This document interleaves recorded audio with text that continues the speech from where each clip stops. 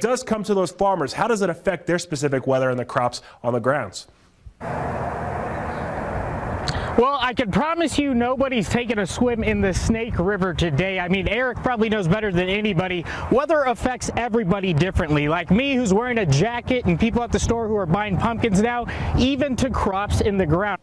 Hey Brittany, hey Joe. We arrived here in Fremont County a little after noon today, and the latest information we have is coming out of the Fremont County Sheriff's Office behind me. High temperatures today were on the mild side. We've seen an increase in cloud cover on our Twin Falls Skycam temperature right around 56 degrees, and it is breezy at the moment. Putting you first, we took a trip to the mountains here in Challis to see exactly how an overpopulation of wild horses is affecting your public land. Chance for scattered rain and snow moving through Blaine County up in the Wood River Valley to kick off our day.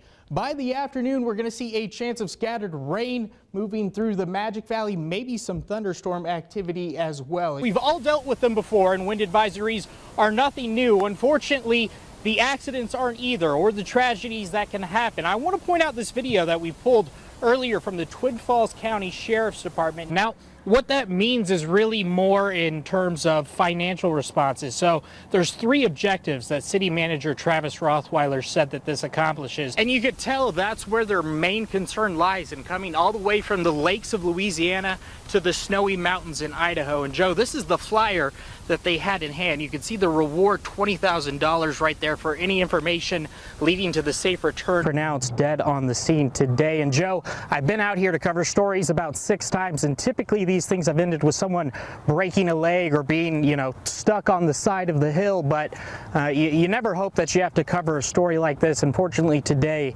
was one of those days. Chris, you got a packed house here at the Twin Falls County Fair. Thanks. One thing that I think people are curious about, especially you coming here, how Southern Idaho treated you. This fire has burned about 60 acres, is that correct? Yep. 60 acres. And we also had the Wilson fire that has burned 317 acres. Can we get an update on the status of that fire? The title track is a, is a duet with a, a really big, good buddy of mine, uh, very famous superstar country music. Um, you can name him. I mean, if you, Yeah, yeah. if you've lived in Twin, you know exactly what's going to happen here. Dave Woodhead has started what's really turned into a family tradition for the Twin Falls community. He raises a copper ball to the top with his truck and then lowers it down. Dave, tell me what gave you this idea to start this whole tradition, what's really became very popular here in the community. A wild hare, I suppose. In the mountain town of Ketchum, a question is looming from the snowy mountaintops to the city streets to the steps of City Hall. Will voters approve an increase in property taxes to bring a new fire station to the town? The question was asked and answered when voters turned down a similar proposal for $23 million in 2016, but this year's vote is different. For one, it's cheaper. Construction of the fire station is $11.5 million. Ketchum City officials have also hosted a series of open houses and educational events, making sure voters are aware of every minute detail with the proposal, especially how much it will cost them. The cost to the taxpayer is $20 per year per $100,000 of assessed property value. The need for a new fire station is relatively well known by residents as the size and safety of the structure has been in question for at least a decade. It is not absolutely safe to use. It would be condemned if it weren't ba- grandfathered in. And seen firsthand by Ketchum first responders. Well, we had a bit of a roof leak at this point, and uh, the ceiling in the bay actually fell down on top of the ambulances. And the problems go from top to bottom. Our living quarters, our sleeping areas actually don't meet fire code. But tax increases are tough to pass. Public's always going to have a problem in allotting money for anything. But people will ultimately have to choose how the future of safety and service in their community will be. We're a full EMS paramedic agency as well as a full rescue agency. Because the current status quo is no longer an option. We may actually end up in temporary quarters somewhere, so uh, the future will tell the story. Good evening, everyone, and thanks for tuning in for your news at 5. I'm Joe Martin. Well, after weeks in quarantine for possible exposure to the coronavirus, an Idaho man is back home with his family tonight. In a KMVT exclusive, Garrett Hottle was at the Twin Falls Airport for a reunion that won't soon be forgotten. It's a small crowd at Magic Valley Regional Airport in Twin Falls with big emotions as parents Linda and Lewis Pond await the return of their son Tim, a passenger on the Diamond Princess cruise ship, a ship where hundreds of passengers contracted the coronavirus and those aboard were forced under quarantine in Japan's Tokyo Bay. We knew he was in trouble. Extended vacation. Tim kept the world informed of his time on the cruise ship with posts that expressed hints of positivity that almost seemed to go against the grain as the troubling scene played out on the television screen and the virus spread to other passengers. Must have been scary. It was, because I was hoping every day that he would text me and say, Okay, I'm still okay. Tim said he came down with a fever aboard the Diamond Princess but tested negative for the virus. Now I wondered about it if if he'll still be okay when he gets home. Tim would be among the hundreds of American passengers evacuated from the Diamond Princess back to U.S. soil, where he would find himself once again under another 14 day quarantine period, which she timelined for us literally from meal to meal. They kept serving him two strawberries and He's allergic to strawberries. Oh. now, after a whirlwind of uncertainty, fear, and glimmers of hope, Tim is back home. How was this flight compared to your other flights, I guess? Well, this one, this one was delayed, so it was the longest. but probably the sweetest for an Idahoan whose vacation was upended by virus and played out on the national headlines. Now he's home. As for what's next, Tim is looking forward to seeing his bed and a dog he's missed. We'll see if she still remembers me. In Twin Falls, Garrett Hottle, KMVT News. Now, Tim credited the Princess crew as well as his habit of already engaging in preventive measures against the virus, such as washing your hands and not touching your face, for helping him not get sick. He also talked more with us about his experience on the Princess and how the Japanese and U.S. governments manage the situation, which we'll include in our website. High temperatures today were on the mild side. We've seen an increase in cloud cover on our Twin Falls Skycam temperature right around 56 degrees and it is breezy at the moment here in Twin Falls. Across the board in that mid 50s region in both the Magic Valley and the Wood River Valley or Mini-Cassia region rather up in the Wood River Valley closer to 50 degrees. Seeing those breezy wind speeds about 10 to say 20 miles per hour throughout the course of our afternoon and that should continue going into our evening. We're seeing some of that scattered isolated made rain shower activity moving in from the southwest thanks to that low pressure system moving off the west coast. So there is a chance overnight we could see some rain shower activity. Taking a step back here now, we do have an upper level low that's spinning in the Gulf of Alaska. This is going to bring some changes into our forecast, but let's get through one day at a time and let's go through tonight at the moment. You can see on our pinpoint Doppler, nice and calm. No active weather. We're going to have mostly clear skies. Current temperatures 57 degrees in Twin Falls, as I mentioned earlier, a touch warmer probably 71 up in Jerome, up in the Wood River Valley, under that 60 degree mark, but I can guarantee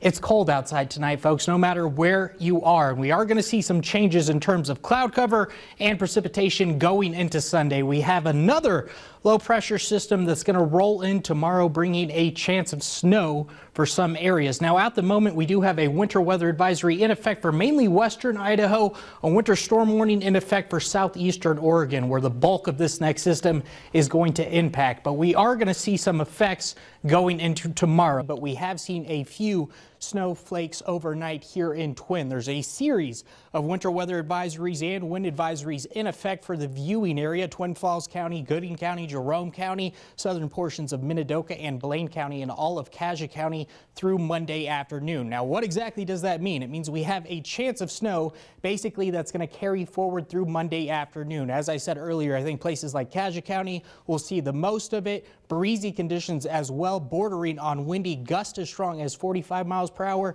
meaning there could be some potentially drifting snow, blowing snow that could reduce visibility rates at times on the roads. And then we're going to see temperatures plunge overnight. So even if you don't see snow, whatever falls in the ground is going to freeze and you are going to want to give yourself some extra time to get wherever you're going tomorrow. Hey, and thanks for sticking with us tonight. A very active weather night indeed. We've had multiple fires start due to lightning strikes, and there is still some thunderstorms moving through the region. At the moment, we have this isolated thunderstorm just to the south of Stanley. It looks like it's going to move in the next hour or so, and we have some isolated rain showers moving through the region as well. An update at the Wilson fire just to the north of Hazelton. It's burned an estimated 300 acres. The good news is BLM does hope to have this contained by Sunday, as early as Sunday at 10 o'clock o'clock. And once again, I am here at the Twin Falls City Park. I have Samantha and Ian on my right, your left if you're sitting at home. And then on my left, your right, I have Gwenifer and Morgan.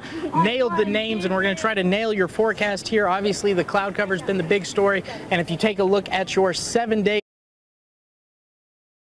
a man was booked for disorderly conduct and malicious injury to property following an incident on Wednesday night at Outback Steakhouse. According to court documents, Andrew Ryan Larson punched out a window and threw objects inside the Twin Falls Outback Steakhouse. He also tried to gain access to the kitchen. Upon the officer's arrival, Larson had left the restaurant and was headed towards the visitor center. When the officer approached, Larson dropped to his knees and placed his hands behind his head and was detained without incident. KMVT spoke with Lieutenant Terry Thueson, who tells us what the public should do if they were ever to witness a situation like this. We live in a time where we always have to be vigilant. We have to be aware of our surroundings and what's happening around us. And if we see something, we need to say something. Thueson goes on to say the best thing that people can do when they observe a disturbance is to become an ideal witness and wait for help to arrive. Well, January is Radon Awareness Month. Putting you first, we have what you need to know about the gas. The Idaho Department of Health and Welfare says that two in five homes in Idaho have higher than recommended radon levels. Radon is the second leading cause of lung cancer behind smoking, causing an estimated 21,000 deaths each year in the U.S. News at 9. Well, thanks for tuning in to your news tonight at 9. I'm Garrett Hottle. New in our Outbreak 2020 coverage, Idaho has 1,897 confirmed and probable cases of coronavirus, with 938 of those being listed as recovered. Now, 10 new cases were reported today, but thankfully, no new deaths. Here's a brief summary of total and confirmed cases across the Gem State. Ada County has 650 cases, leading the state. Blaine County 492, and here in the Magic Valley, Twin Falls County has 156, Jerome County 46, Lincoln County 22, Cassia County 12, Minidoka 10, and Goody 9. For the latest information, visit KMVT.com to view our COVID 19 tracker. And we should also mention that recovered doesn't mean people aren't still hospitalized or infectious. It only shows how many people are still alive 30 days after the onset of COVID 19 symptoms. As of right now, the death toll across the Gem State is at 56. New fatalities were recorded on Saturday in Ada and Elmore counties. Now, your KSVT first forecast with Garrett Hottle. Well, we really lucked out today. What a gorgeous view on our Canyon Ridge High School time lapse cam. Plenty of blue sky and sunshine. The one caveat obviously was a little bit breezy. Same story, different temperatures up at the Friedman Memorial Airport. Highs today a little bit warmer than yesterday, mid 60s in the Wood River Valley, 70 degrees here in the Magic Valley, Burley, and 71 as you can see in Jerome. We are going to see an increase in cloud cover overnight, presenting a chance maybe for some showers in the higher elevations. The bigger story tomorrow, though, is going to be wind speeds. We have a wind advisory in effect for the highlighted portions on your screen, the Mini-Cassia region, all of Lincoln County, southern Blaine County. We're going to have more details on this and a huge warm up that we're going to see midweek in our full weather forecast. We'll lay it all out for you coming right up.